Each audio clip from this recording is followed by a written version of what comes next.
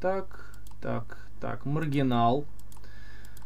Смотрит, смотрит что-то там про Шадова. У нас там маргинал разбирает дебаты без мата о диамате 10 минут. Прийти только сравнив два опыта вместе. И выбрав один из них как настоящий, а другой как иллюзорный. Все. Все. То есть так или иначе какой-то опыт принимать. Не, ну мы это вроде смотрели, давайте еще разок, конечно. На каких основаниях? Ну, это вот тебе вечная хуета. Поэтому люди, поэтому людям не нравится философия, собственно. Потому что так, ну да. такая хуета зафоршена просто. И ее повторяют из поколения в поколение. Ну, она же не выдерживает самой простейшей критики. Да, не выдерживает самой простейшей критики, только вот кто-то критику нам не, это, не рассказал. А, такое себе. Каким образом нам, что мы увидим? Мы видим сам камень, не... В каком, как мы его сам видим? Не пос... Э, э, мы видим сам камень. Каким образом? Посредством. Посредством. Глазами мы его видим, Шадов. У нас нет глаз, все. У нас нет глаз, глаза иллюзия. А, что дальше? Ну, блядь, чувак просто читал Беркли, и он начинает вот эту хуйню сейчас нести. Мы, блядь, глазами видим, блядь. Ну, ладно, все, нахуй. Я помню, я помню это видео, я помню, какую хуйню маргинал здесь нес. А, собственно, бля, ладно. Всей хуй. Где у нас глаза? Ну, то есть, смотрите, мы мозг, подключенный кол в колбе. В колбе у нас электрические сигналы идут, которые нам ведут туда непосредственно а, в общем-то, весь наш э, мир, который мы воспринимаем. Где, блядь, у нас глаза? Ну, допустим, одна модель симуляции такой. Возьмем одну из моделей симуляции. Где у нас здесь глаза? Ты сказал, что мы глазами, блядь, видим. Не вижу глаз. А, хуйни, которую Кровецкий упомянул, и, и еще всякое появление, которое он не упомянул. Каким образом мы видим сам камень? Что такое сам камень? Да, что такое вообще, блядь, сам камень? Я могу во сне видеть э, сам. Да, в любой камень могу видеть во сне. У нас, может быть, фотонов никаких нет, может быть, у нас нет никакого света, отражения. Это что ты придумал все это до хера? Ну, прикольно, прикольно. Ну, охуенный аргумент. У нас, может быть, ничего нету. Хорошо. Ну, опровергай. Ну, прикольный аргумент, у нас может быть ничего нету, но опровергай, что у нас есть. Докажи, что есть. Абсолютно, с абсолютной очевидностью, блядь, докажи, что у нас все это есть. В чем проблема? Это аргумент к тому, что твоя позиция не является единственно возможной из тех э, известных нам, в общем-то, вещей, которые мы в феноменологическом мире ощущаем. Докажи, что твоя концепция является единственно возможной из всех, и другие концепции нерелевантны. Разве это непонятно? Спасибо, Green Elephant. А, спасибо. Разве непонятно содержание данного аргумента? Слушай, давай... Ну, то есть я формально не придерживаюсь солипсизма, я не сторонник того, что мир иллюзия и так далее, так далее, так далее. Ну просто, дядя, ну просто, дядя, давай, короче, докажи. Окей, ничего нету. Идем дальше. Ну, да окей. Идем дальше, мы доказывать ничего не будем. Я напоминаю, основной вопрос философии. Почему есть что-то, а не ничто? По Хайдегеру. Ну и чё? По Хайдегеру. Я напоминаю, основной вопрос философии по Василу. Почему, блядь, я тебе еще шею не перерезал? Хуесос ты тупой. Ладно, шутка. А. Весав пишет, зачем доказывать, если можно не доказывать? А нахуя выставлять что-то, ну, типа, как будто бы самоочевидным, ну... Просто сказал бы, ну, я не знаю, и, собственно, все, а, а, расслабился. Чил, чиллинг аут. Почему есть что-то, а не ничто? А потому что, ну, продолжать жить-то все равно надо.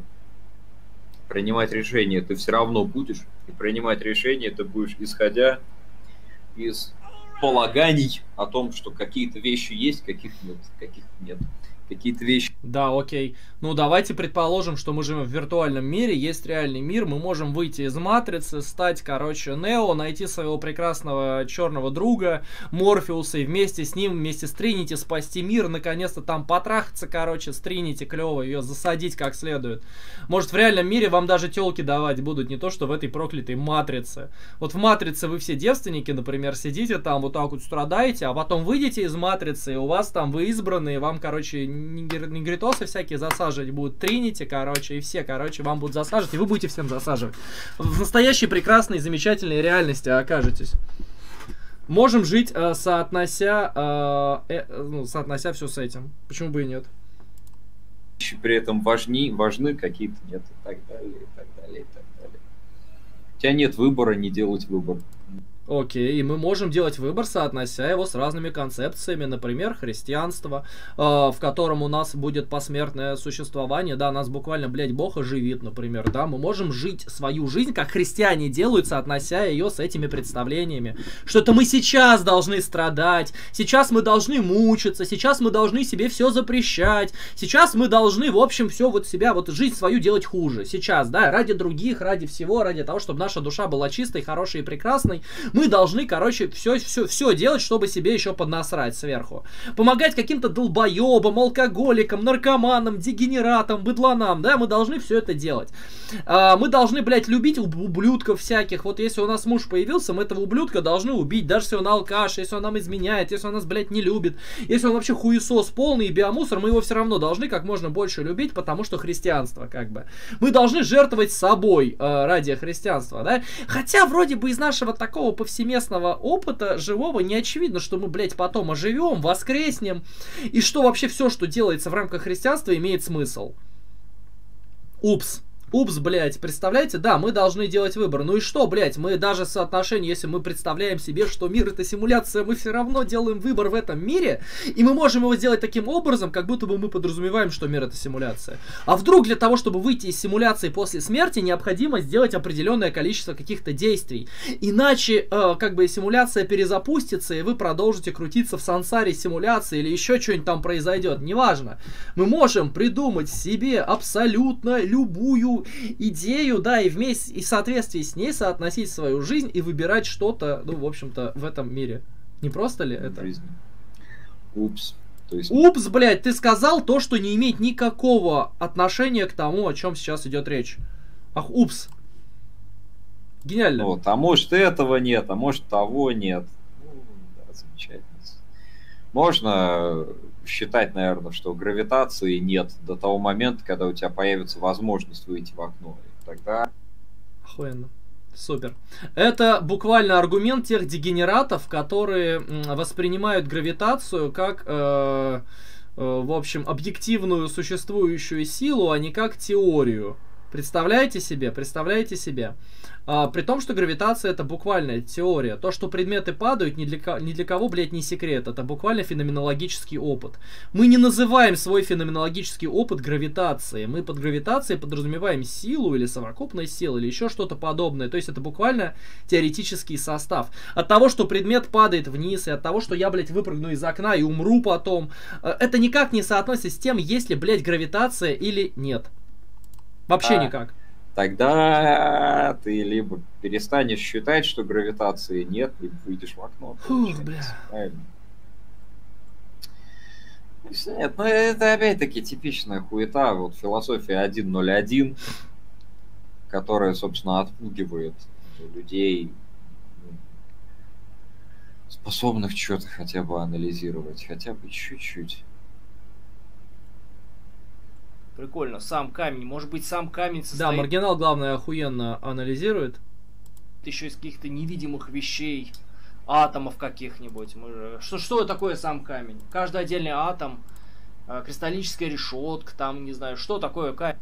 Сам камень это конкатенация, значит, этих самых атомов, да, то есть коллекция этих самых атомов. Да. Вот, как... Ну, тогда сам камень не есть сам камень.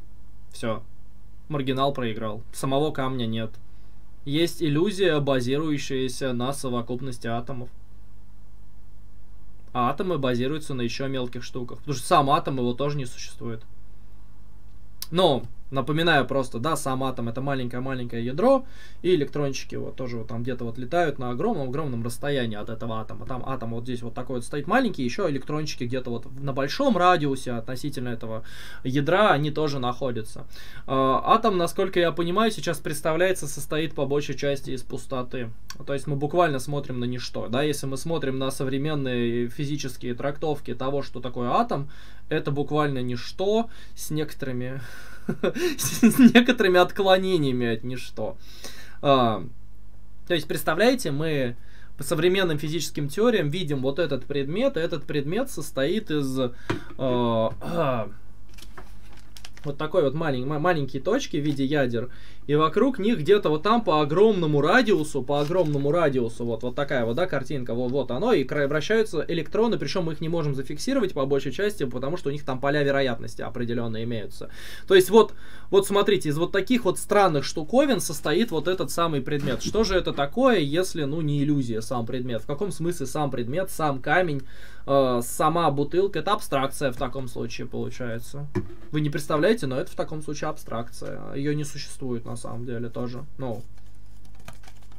Потому что она из пустоты состоит буквально. Ну, что делать тогда с этой штукой? Ну да ладно.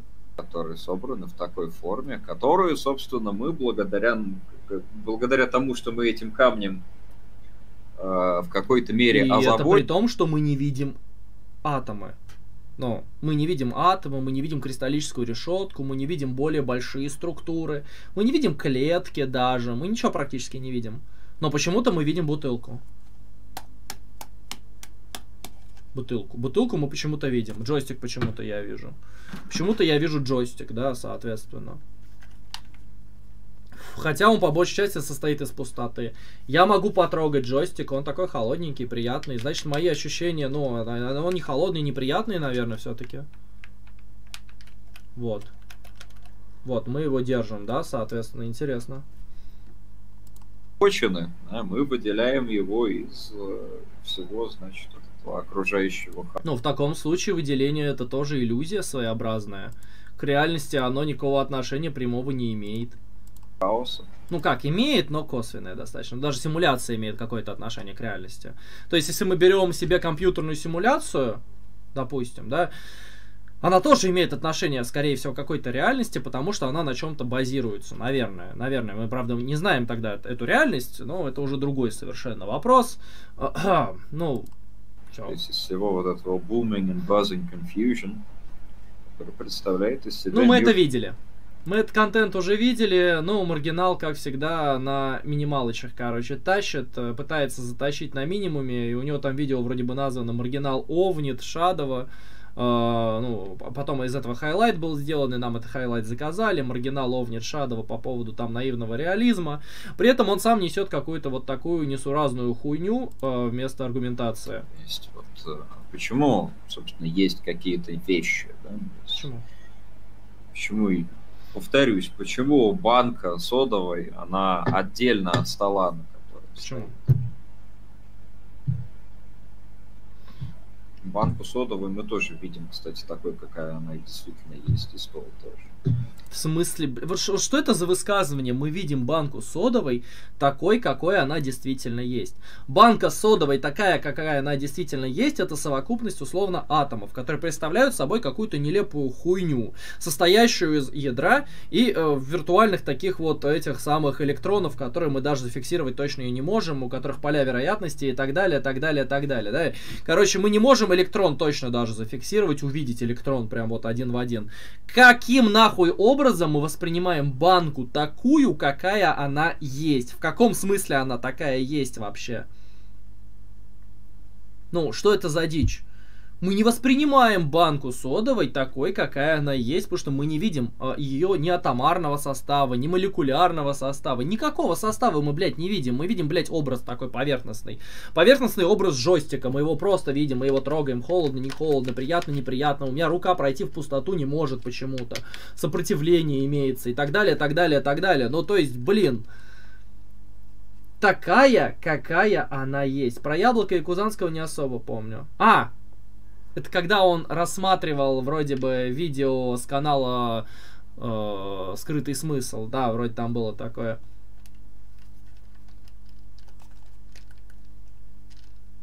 Пустота, блядь, пустота. Большая часть, из чего эта хуйня состоит, это пустота буквально. Я воспринимаю это не так совсем. Владислав пишет, а еще есть э, тетрахромы и дихромы, которые в цветном окрасе видят банку иначе. Ну, например, да. Тут еще с цветовым составом большие проблемы. Есть дальтоники, пальтоники, не знаю, хуетоники и так далее, так далее, так далее. Скорее всего, есть существа, которые воспринимают предметы немножко по-другому в пространственном смысле и так далее, так далее, так далее. Uh, не доказана невозможность фиксировать атомы либо их элементы. Так необычное приложение. Маргинал буквально говорит, что мы обычным зрением видим банку такой, какая она есть. При этом придерживаясь еще и научной трактовки но научная трактовка и банка такая, какая она есть, друг другу противоречат, очевидно.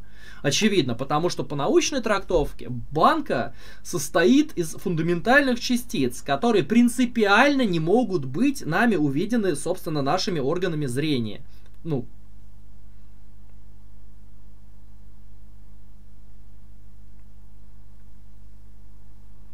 То есть, вот буквально э, непонятно тогда, в каком смысле он употребляет слово банка такая, какая она есть. Э, то есть он не по-философски задает вопрос в таком случае. Потому что у нас, у философов, принято воспринимать вот это вот э, высказывание такое, какое оно есть. То есть такое, какое оно есть на самом деле. Ну, например, а, вот этот вот предмет совокупность атомов Демокрита, или этот предмет совокупность гомеомерий, или вот этот предмет это просто образ, идея или там зеркальное отображение чего-то там э, в нашем там глазу. Или вот этот предмет это есть на самом деле лишь виртуальная проекция чего-то там, э, которая ну, поступает на наш мозг, который находится в реальном мире, а у нас вот, короче, вот как-то это вот так вот в мозг поступает инфа, и мы воспринимаем предмет, которого на самом деле нет, допустим, да.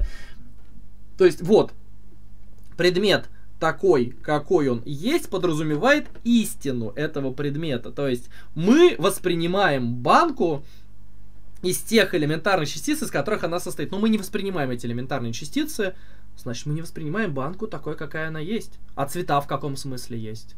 То есть, стоп, цвета, они, они реально в мире существуют, или это от, воспри... от органов восприятия в данном случае зависит? А почему тогда разные существа по-разному воспринимают вещи? Или, или одни правильно, а другие неправильно воспринимают?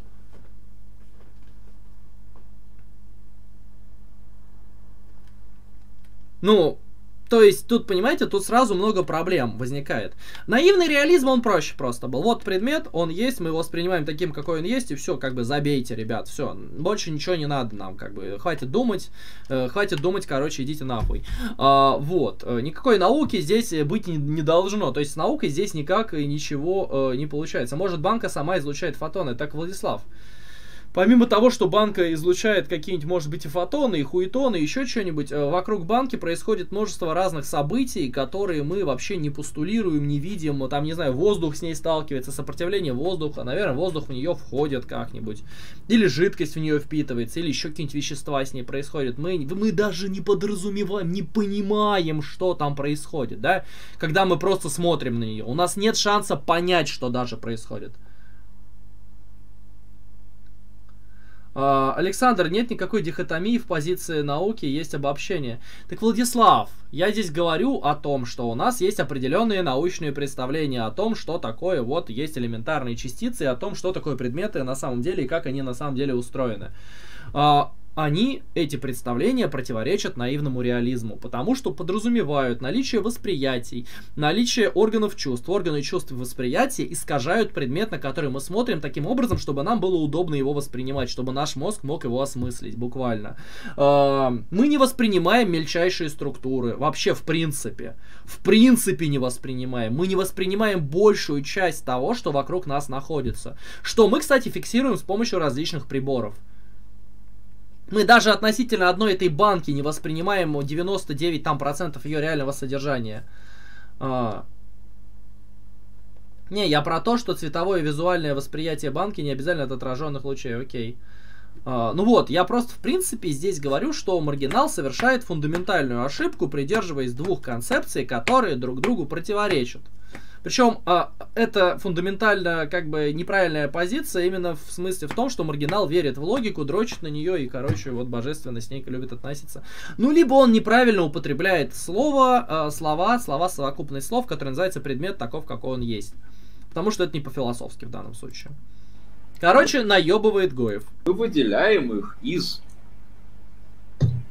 это, безграничного, безграничного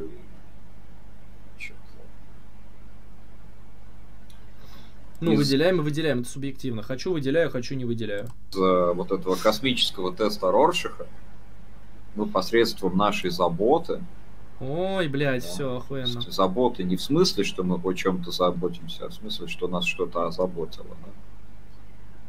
А, что нас что-то волнует. Так или иначе Мы выделяем те вещи, которые важны. Да, да, да. Для, ну, грубо говоря, для нас. Вот. Эм...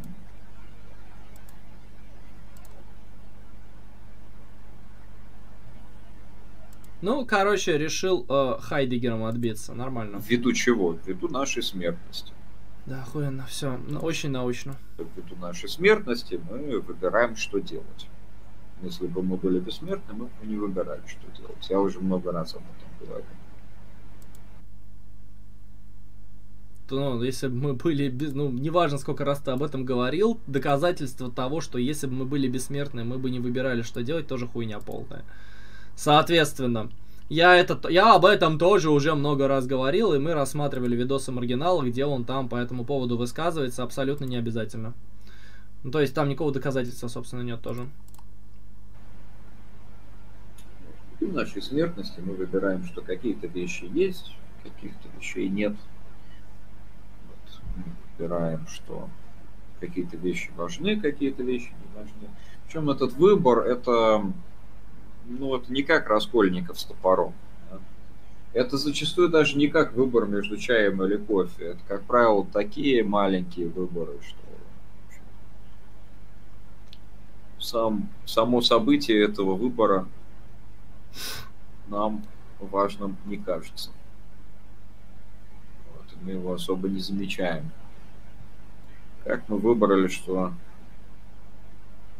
кристаллическая решетка есть? Да никак, чувак. Э, ты, короче, философию учи. Если ты говоришь, мы видим предмет таким, каким он есть, значит, мы видим э, самые базовые его характеристики. Глубже ничего быть не должно. То есть мы буквально лицезреем архе. Буквально арха лицезреем. Но мы не лицезреем арха. Ну, если мы верим в науку, мы не лицезреем арха. Да я тоже не понимаю Джон Доя, ну неважно, так в общем, да. Э, смотрите, что есть реально, что есть по-настоящему, что есть не иллюзорно. Если мир состоит из атомов, и атомы неделимы, и глубже атомов ничего нет, значит мир не иллюзорно состоит из атомов и атомы неделимы, и ниже атомов ничего нет. То есть атомы являются архе, как это было у Демокрита. Но при этом под атомами он понимал различного рода геометрические такие вот формы. Они реально, вот эти атомы, они были неделимы, но имели разные геометрические формы. Сферы, там, я не знаю, вот эти вот пирамидки там разные, и всякая такая вот интересная штука. А, и соединялись они, короче, друг с другом, э, создавая мир вокруг нас. Атомы по Демокриту мы не видели. Э, Владислав пишет, атомы делимы же. Ой, блядь, Владислав, это не философские атомы, это вот та хуйня, которую потом, э, ну, смотрите, история развития термина атом.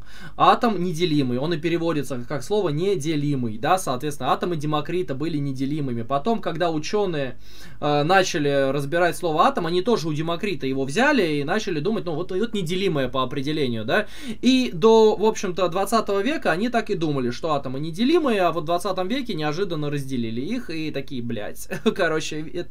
и, видимо, встали перед выбором, оставлять ли название атомы, э, либо, ну, не оставлять название атомы. Но они оставили, короче, название атомы и, короче, обосрались, на мой взгляд, с точки зрения философии. Вместо того, чтобы признать, ребята, философы, простите, мы были неправы, мы обосрались, мы вас всех наебали, на самом деле эти атомы были не атомами, мы их разделили, да, соответственно, с нашими же теориями мы допустили допустили колоссальную ошибку. Наука на фундаментальном уровне ошибалась. Мы обосрались, простите нас, пожалуйста. Да, простите нас, пожалуйста. Нет. Вместо этого ученые просто сохранили название атом на делимой хуйне какой-то и, в общем, поехали дальше. Забив на всю возможную критику по данному вопросу. Как-то так. Э, я говорю про конкретные философские атомы, которые были архе. Э, ну, то есть архе первоначалами. Э, вот первоначало это реально, это есть на самом деле, условно, да, это то, что лежит над иллюзией. Из, из архе уже составляется наше восприятие, иллюзии нашего мира. И так далее, так далее, так далее. То есть Да, Владислав, то, что сейчас ученые пустотой называют, ни один философ никогда не назовет пустотой. Тут еще, опять же, понимаете, блядь, ебаные ученые совершают подмены понятий просто вот, вот, вот, вот, вот так вот, блядь, клепают, у них фабрика подмены понятий, да. Сначала атомы подменили, теперь пустоту подменяют и так далее, и так далее, и так далее. Физики еще такой хуйни придумывают, потому что многие из них философии не шарят, что вы охуеете просто. У них там, не знаю, из анала медведя будут там фотоны в жопу, короче, коням, не знаю, фиксики, гномики, блядь, со всех сторон лететь и так далее, так далее, так далее. Э, все, все, изнасилуют все философские термины с удовольствием. Вот. А там фей, например, нет. Ну, так что, если феи есть, наверное, надо какие-то ритуалы выполнять, связанные с феями, правильно? То есть там целый гигантский багаж есть всякого такого, что надо было бы делать, если бы феи были. Ну, кстати, наивный реализм, он возможен. Он возможен, но для того, чтобы придерживаться наивного реализма, необходимо не придерживаться науки, научного позиции. То есть надо быть антисайентистом. Возможен наивный реалист, хорошо развитый, достаточно интеллектуальный и, и последовательный, да, и, и при этом последовательный, но при этом он должен отрицать научные достижения. Серьезно. Ну, и это вполне, как по мне, адекватная позиция. То есть мы не видим предмет таким, какой... Ну, то есть он может сказать, да, мы видим предмет таким, какой он есть, а все, что вот как бы мы там постулируем через просмотр там в телескопы, хуескопы, перископы, телескопы, шмар шмароскопы и так далее, это все иллюзии, как бы, да. Это уже какие-то архе архе археологические раскопки интеллектуальные, которые мы по-своему трактуем. На самом деле мы видим предмет, он есть такой, какой он есть, и вот, соответственно, вот он, наивный реализм, понимаете, будет в чистом виде, потрясающий, реально, вот предмет, вот он, вот, блядь, вот он вот такой. Никаких атомов, хуятомов, шматомов, никаких, короче, ничего там, короче, нет. Он, он, он, он, он вот такой вот целостный. Вот, вот, вот, вот он, блядь. И я целостный. Мы оба целостные. Мы друг друга хуярим целостные целый день. Вот так вот. Мы такие веселые, друг другом что делаем, такие штуки прекрасные, да. Все, все это есть на самом деле. Только это не научная позиция, к сожалению. Mm. А кристаллическая решетка что? Если кристаллической решетки нет, значит тебя в школе обманывают. Там целый багаж вот несуществования кристаллической решетки. Несуществование гравитации имеет багаж довольно большой, что это получается из окна можно выйти. Нет, не получается, это хуйня сейчас. Что из окна можно выпрыгнуть не получается. Феноменологический опыт, он универсален. Вообще все скептики признают феноменологический опыт, да? Потому что его трудно не признавать, к нему нельзя вопрос задать. Вот. Э, скептики сомневаются в том, что существуют э, вот эти все теоретические объяснения, они являются релевантными адекватными этому миру. То есть, соответственно, гравитация это, конечно, теория. Это не феноменологический опыт. Феноменологический опыт это вот. Бутылка падает. Еще раз. И еще раз. И еще раз падает. И еще раз падает. Это вот-вот феноменологический опыт. Он никак не говорит о том, что гравитация есть. Более того, мы само это падение еще гравитацией даже не называем, понимаете? Гравитация это общий закон, по которому эта хуйня падает. Причем мы не знаем, он реально общий, реально ли закон. Может быть, есть где-то в мире э, в планеты, от которых наоборот все отталкивается. Мы просто эти планеты еще не заметили. Может, в каких-то галактиках, блять, от планет все отталкивается. Представляете себе? А мы думаем, что вот все вот так вот происходит. Ну и так далее, так далее, так далее. А, гравитация это теория. Но при этом это никогда, ни в каком случае, ни при, каком, э, ни при каких обстоятельствах практически не значит, что мы можем выпрыгнуть в окно и полететь.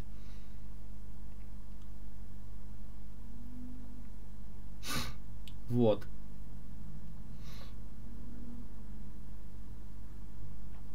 То есть... То есть вот, э, Владислав пишет, есть теория об антигравитации. Ну, может быть и есть. Может быть и есть, Владислав, есть теория об антигравитации, но я просто, опять же, замечу. Ну, ну, тогда, да, мы просто постулируем, что есть и гравитация, и антигравитация, мы просто попытались тогда закрыть дыры в нашей теории предыдущей с помощью внедрения противоположного, в общем-то, э, противоположной сущности какой-то. Ну ладно. Опять же, понимаете, теории, они создаются в рамках определенных, как бы сказал Вахштайн, социальных практик или личных практик, практик личного взаимоотношения, общения. Э, люди друг с другом общаются, придумывают, фантазируют, создают, смотрят факты, которые у них есть, пытаются делать так, чтобы наблюдаемые факты максимально не противоречили, во-первых, их принципам, и чтобы принципы не противоречили теориям и так далее, так далее, так далее. То есть делают очень много всяких фантастических ходов, которые не являются радика в радикальном смысле на надежными. Но при этом мы все равно, выйдя из окна, разобьемся, скорее всего, да, потому что, ну, практика так работает. Прошу прощения, практика, она не критерий истины, она критерий практики, к сожалению. Практика сама себя подтверждает. Ну, разобьетесь. Ну да. И это никак не связано с тем, что есть гравитация, нет гравитации. А, ну, Владислав, здесь тоже без разницы. Здесь мы можем вообще по-разному подойти к этому вопросу. Мы можем вообще сказать, что ни Земли нет, ничего нет. Вот, вот, а смотрите, смотрите, Владислав, а что притягивает персонажа в игре, который прыгает? Вот, вот прыгает, что его притягивает? Там гравитация есть, ну, там код, наверное, какой-то работает. Там буквально код его просто заставляет вот так вот делать. У него есть анимация определенная, или там, я не знаю, или еще что-нибудь. То есть на него буквально не действуют никакие физические силы. Ну, кроме тех сил, которые работают в компьютере, да, компьютер создает визуальное изображение, а на персонажа в игре на него никакие физические силы, по сути, это не действуют. А, и при этом мы можем эти физические силы по-разному, эти псевдофизические силы, виртуальные силы мы можем менять вообще как угодно. Вот в компьютерной, при компьютерной аналогии, давайте так к этому подойдем. Там даже не важно, кто, к чему, когда притягивается. Мы можем в рамках компьютерной игры виртуально сделать так, чтобы и я притягивал Землю, и Земля притягивала меня, и мы оба взаимно притягивали друг друга. Только в виде кода это будет все организовано. В таком смысле гравитации как силы не будет, будет просто код, который работает э, подобно тому, что мы постулируем за гравитацией, да? Правильно, Владислав, все верно. Причем этот багаж, он тебе еще и из естественного отбора, скорее всего, ёбнет.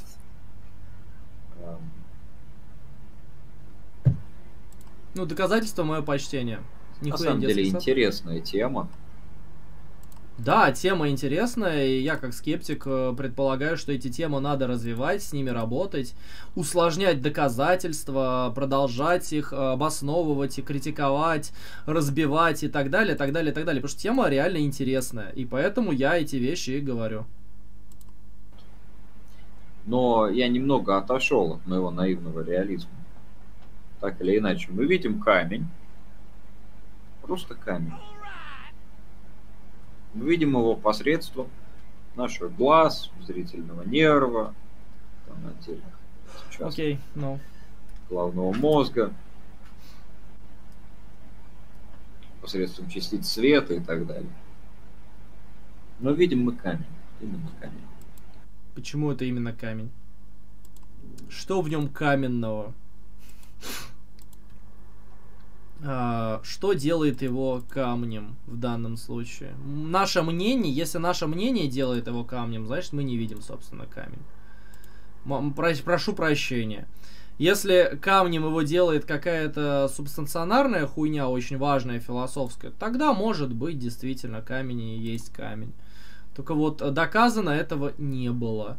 Опять же, не было. Ну,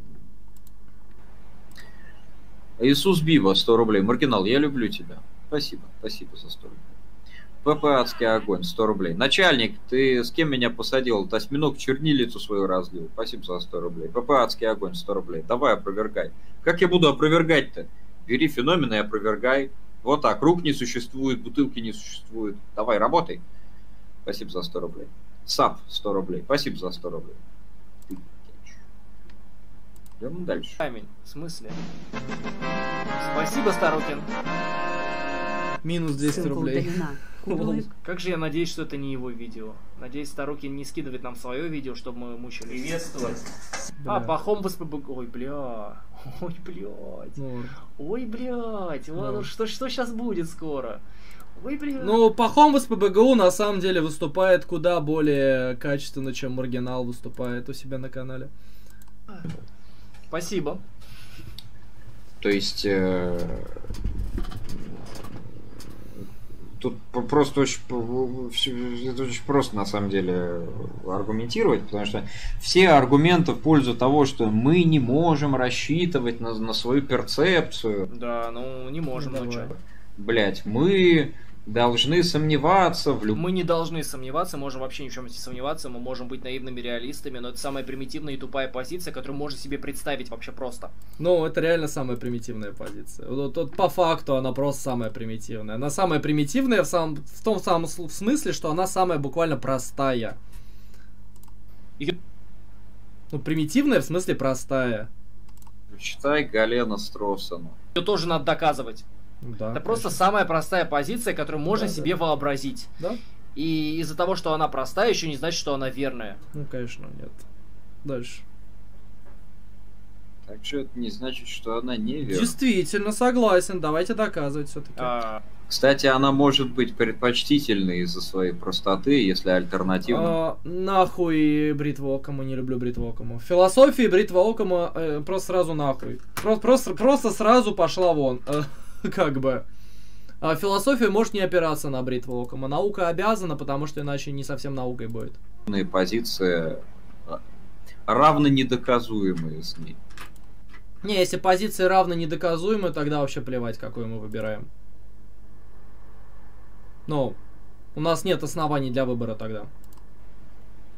а, Но это не так. Принципе, и там, и там можно, в принципе, доказывать. Desi Box, а вы по-разному Dead, Sea... Dead Ice Box, Dead Ice Box получается, мертвая ледяная коробка, да? Окей. Ну, окей. А, вы можете по-разному это доказывать, по-разному к этому подходить. Просто маргинал в данном случае придерживается самой примитивной позиции из возможных. В этом его проблема. И ничего не говорит при этом. И вообще никаких обоснований нет. Причем проблема даже не в том, что она примитивная. По-моему, наивный реализм разъебывали вообще за всю историю философии все, блядь, кому не лень.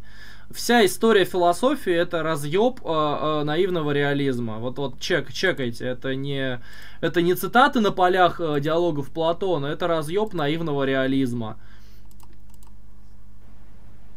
Мы посмотрели 4 минуты. Ре- ре- реально, ре- реально, ребят, буква- буквально, блядь, наивных реалистов философии не очень много. И их почти всегда, ну, ебали, к сожалению.